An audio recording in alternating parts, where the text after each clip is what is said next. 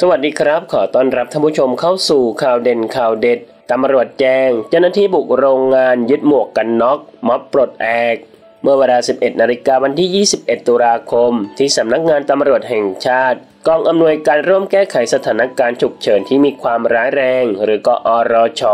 โดยพันตำรวจเอกสิริวัตรดีพอ รองโฆษกสำนักงานตำรวจแห่งชาติกล่าวถึงสถานการณ์สื่อสังคมออนไลน์ กรณีการตรวจสอบโรงงานผลิตหมวกนิรภัยพันตำรวจเอกสิริวัตรกล่าวว่า ยังไม่ได้รับรายงานชัดเจน แต่อาจเป็นไปได้ที่เจ้าหน้าที่ ได้เข้าไปตรวจจับหมวกที่ผลิตไม่ได้มาตรฐานอุตสาหกรรมหรือมอก แต่มีความเป็นไปได้ที่กลุ่มผู้ไม่หวังดีบิดเบือนข้อมูล พยายามนำไปเชื่อมโยงกับการชุมนุม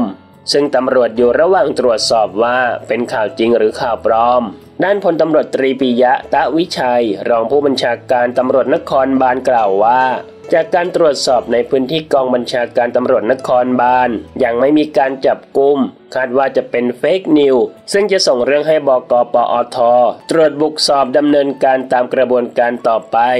ท่านผู้ชมล้วครับ มีความคิดเห็นอย่างไรกับเรื่องนี้ลองแสดงความคิดเห็นกันเข้ามาดูนะครับ ขอขอบคุณข้อมูลจาก Daily Life Express ขอบคุณครับ